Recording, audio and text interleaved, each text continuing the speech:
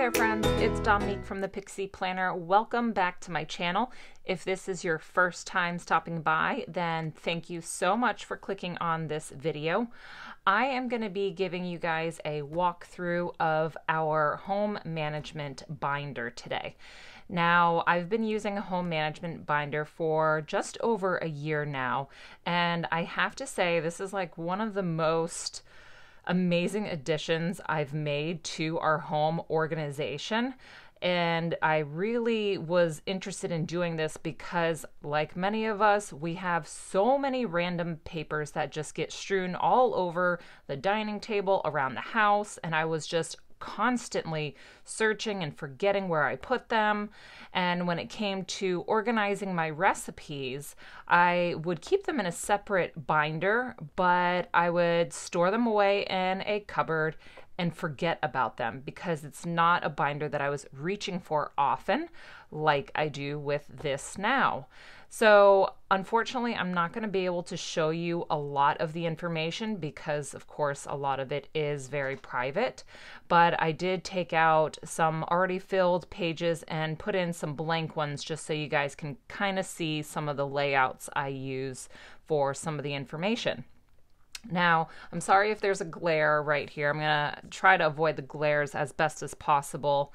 Um, but you see the front cover here. Sorry if this is offensive to some, some of you guys, but I just thought this was really entertaining and a little bit funny to look at when I have this out in the kitchen. And um, so I made this on Canva and I just wanted a simple cover page for it.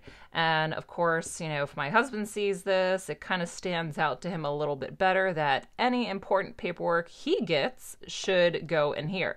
so um, made just simple again on Canva.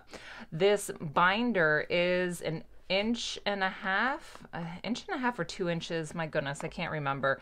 Maybe it's a two, it's probably a two inch one. Um, I got this just from Staples, and also the dividers that you'll see on the inside are also from Staples. So let me give you a peek here at the dividers, and I'll show you the sections that we have. So first off, I have important contacts. It then goes into cleaning. I have the next one titled household. I'm not too crazy about that uh, particular um, title. So for now, it's just household because this is where I'm putting kind of all our random um, like auto maintenance, any house maintenance, or even um, now that we're getting our taxes prepared, we're just putting any tax information in there. Then I have finances, medical, Lola, which is our dog, recipes, and projects. So let's open up to see the front pockets. Now, again, I'm sorry about the glare. I'll try to make this quick. Um, I have just in the front here some things. I'll either put things that I need to file away in here in the very front or things that I know are going to be coming up soon. Like this is information for a new doctor that I'm going to be seeing in a couple weeks. So I want to keep this in the front because I will need that. And it's just a good reminder of that appointment. And then also just looking into some HSA information. So that's just a reminder for me to keep looking into that. Now, moving over to this side, I have a nice big plastic zip pouch. This is also from Staples. I keep in here some dry erase markers and you'll see what that is used for in a moment. But I use this to mark off some checklists that I have and I have them in the um, laminated pockets, not laminated pockets, what page protectors, you know, the old school ones from when you were in school. Um, I also have some tabs, some sticky tabs there if I want to mark off any sections. Now, on this page, I have some card holders, and I think these are kind of like the baseball the baseball card holders, and I got a big pack of them. So any appointment cards, important information, like for any um, you know plumbing needs, electrical needs, all of that can go on this page here. So it's just a nice organized way to keep track of all those random appointment cards and business cards that you get. And of course, I have my lovely sticky notes just covering up some information that I don't want to be sharing. So that takes us into the first tab, which is the important contacts. These dividers that I had gotten from Staples have these pockets, which I absolutely love because, again, if I am in a hurry and I have some information that I want to put in here, but I don't have the time to, you know, organize it in its area, I'll just put it in the pocket and then I can go back later and organize it. And that way I'm not just leaving that paper on the countertop because I don't have anywhere to put it. Even if I can't file it away, it's gonna go in here. So important contacts is the first section here. Now, I got all of these printables from the Fly Lady, and if you have not heard of her, I will leave the information down below. She kind of has her own homekeeping, um, more of like cleaning focus website, and she has a control journal, which is something similar to this that she recommends that each household have. And so the printable that I have here is her controlled journal printable, and it came with a bunch of different ones. Um, and so this section is her important contact section that you would create in your journal. And so I just printed up some important numbers, you know, that either for family or yourself, if you want to have this information on hand, you know, just in case of emergency, someone can find that information within this um, control journal or home binder, and it'd be easy for them to get to. The emergency repair phone numbers, pretty much self explanatory. And then we have a few more with other emergency numbers. And again, I have these already filled out, but I just printed up some blank ones so you guys could see. Uh, but I think this is just great because if my parents or family um, need this information, you know, God forbid something happened to myself or my husband, they just know where to go and it's not a hassle for them that way. Then we come into the address book for your Got a couple pages there. And then just another contact uh, phone number. This will be kind of more for friends and family, just a, quick look at the people that I reach out to most often, or even um, like some of these aren't going to pertain to me. I don't have any children, so I don't need the daycare. I don't have um, a sister, so some of these won't pertain, but it's just nice to have your family and close friends information just on one page. So I have that printed out as well. And then you can keep track of bank account information, credit card, vehicle information here. So all the important contacts that I would need are in the very front. Next, we come to my cleaning section, and then this is also geared towards what the Fly Lady does with um, her routine. And I've tweaked mine a little bit because her schedule that she recommends just doesn't work well for my own schedule. And she does advise that if something doesn't work well for you, tweak it in whichever way. You don't have to do the exact same things on the exact same day that she has written. So I've made some adjustments to work with my uh, work schedule. So she does a basic weekly plan. And so this is a glimpse of things that you would regularly do on particular days. So we all kind of have a little bit of a routine schedule set within our weeks. Like, for example, I have Wednesdays off. So I know that Wednesdays are going to be my day to work on YouTube and also run my errands, go to appointments, um, and even focus on some deeper cleaning tasks.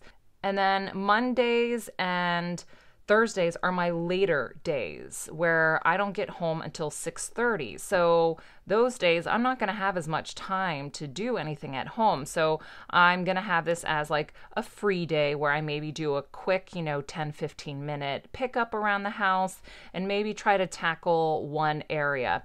Uh, for the zone, and I'll explain the zone, uh, you know, cleaning a little bit more. So, as I was saying, you know, we all kind of have a routine with our weeks already, and so it's nice just to have it kind of written out so you could just take a quick glance. So that way you're not constantly thinking, okay, wait a minute, it's Tuesday. What was it that I said that I could do? And you know, there's always other things floating around in our minds. So might as well just make it easy so that it, the decision fatigue is at a minimum and just write it down. So this is my basic weekly plan. And then this leads into my checklist for those days. So, Monday, I was saying that is my free day and I'm going to work on a zone. So, that means maybe I will water plants or again spend 15 minutes in my current zone to do a quick tidy. Maybe just get one small load of laundry done. So, keeping it to a minimum since I know Mondays are long days for me at work and I won't have time to do much else.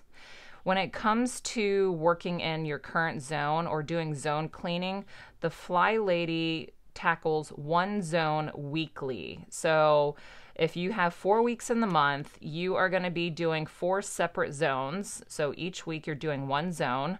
Like this week is supposed to be the um, master bathroom and bedroom. So for that whole week, you're going to be focusing on deeper cleaning in those zones, not just your regular, you know, daily tidy or pickup, like your deeper cleaning. And so after Monday, we go into Tuesday, and I actually I forgot to wipe that off already, but um, Tuesday is going to be my desk time and miscellaneous. I get home a little bit earlier on Tuesdays. And then Wednesdays, working into today. This is where I have a list of things that I could do on Wednesdays. And so I would just have this open on my kitchen counter or on my dining table. Use one of the dry markers, dry erase markers, and then as I'm going through my day, just tick off the things that I get done. And I always have the current day tabbed, and I have the current zone tabbed as well. So I have these two pages for Wednesday, Thursday. This is what it looks like for me.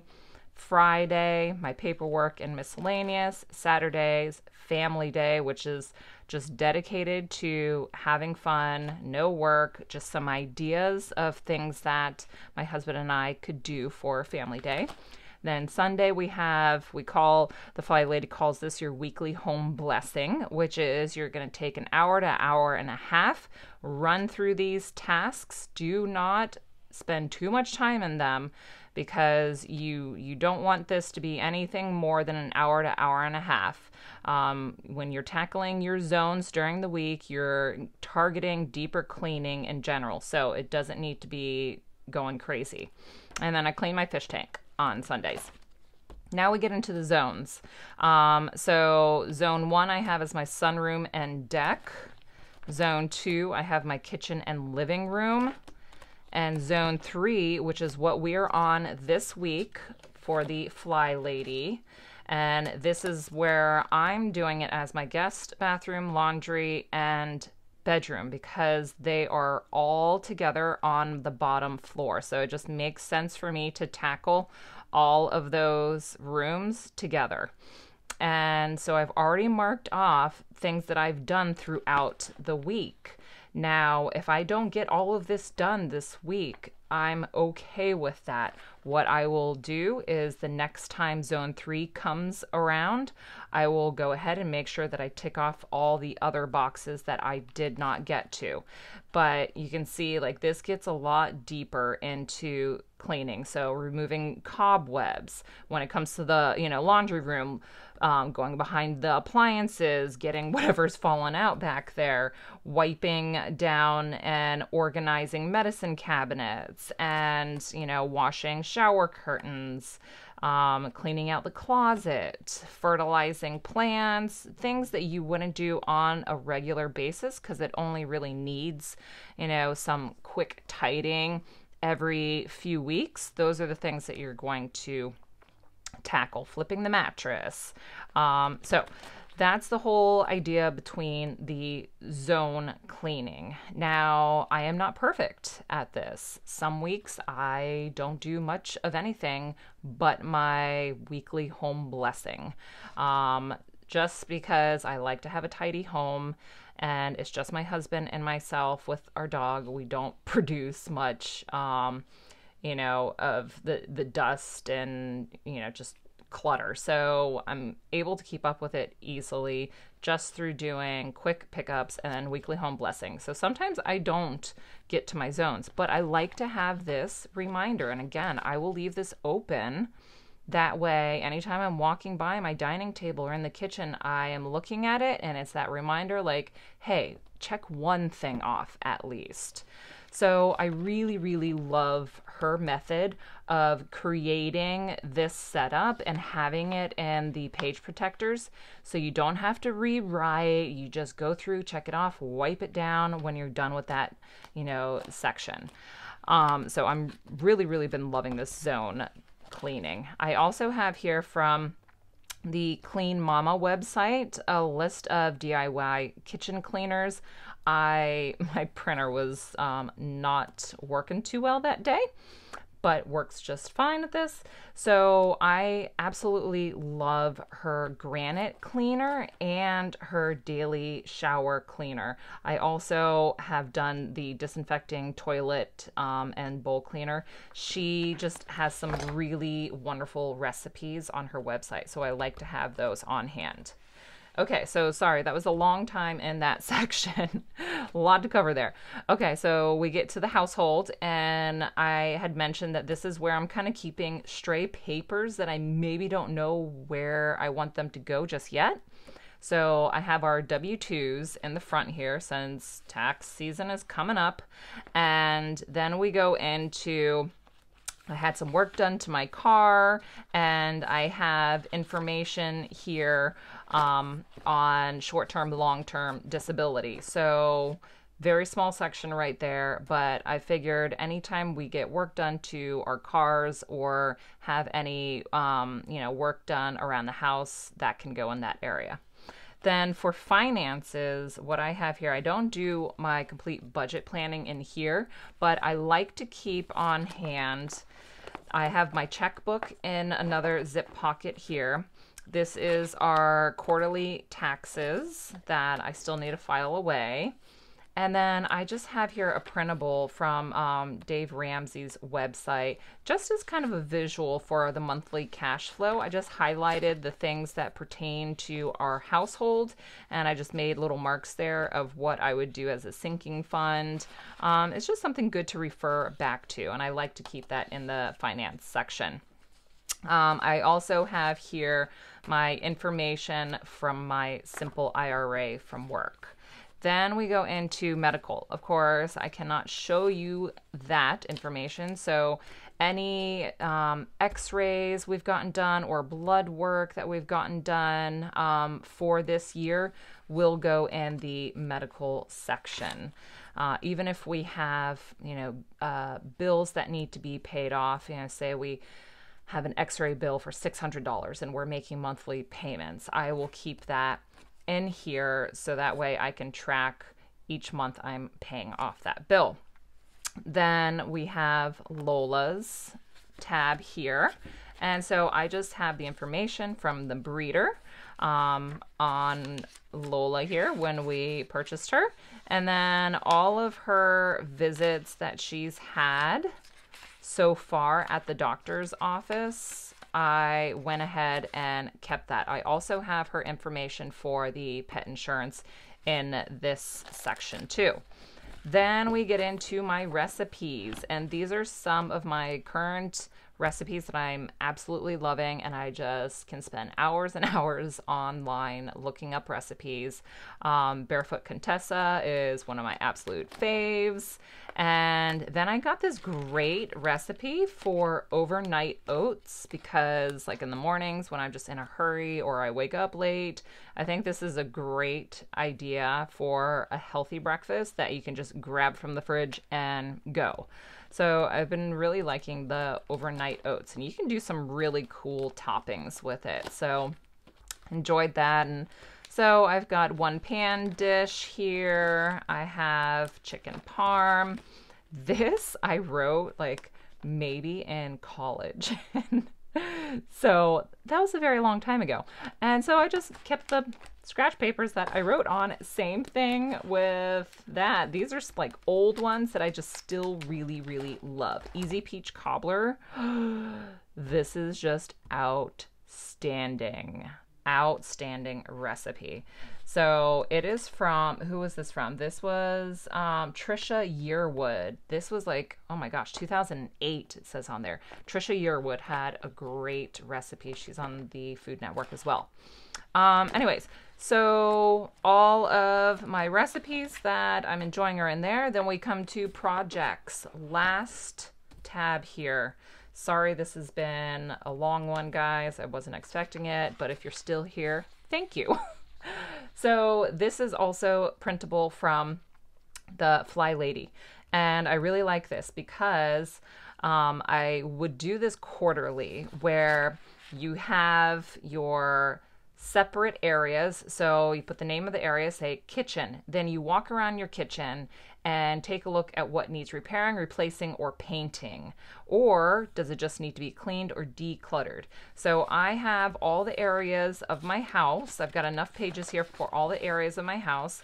So that way I can do this quarterly and make sure that I'm staying on top of things that need to be done around the house that maybe, you know, I'm not thinking about often or, you know, light bulb goes off and I'm like, ooh, I really should do that, but I don't write it down and just let it kind of fly. This is going to keep me on track. And I have not done this yet. I'm actually planning on doing this this weekend. I'm going to walk around the house and make some notes and start myself off right for the first quarter. So this is an awesome printable as well. And this was part of the Fly Ladies Control Journal. Then I have in this pocket here. This is the, the layout of our property, so I'm not going to show that. And then the back is just empty. Okay, guys, so that is a look at our home journal or binder. And yeah, this, as I mentioned, we've been using this for just over a year, and it's just been absolutely amazing. I highly recommend having something like this. As you can tell, it is nothing pretty, and that's exactly how I want it. I just want to be able to throw crap in there, organize it where it needs to go, and just know that it is kept somewhere safe instead of just piled up with all the other papers that are randomly floating around. Um, so been really happy with this. Highly recommend it. I hope you guys enjoyed this video. If you have any questions for me, leave them down below. I'll do the best I can to answer them. And as always, I appreciate you guys so very much and we'll see you again soon. Bye.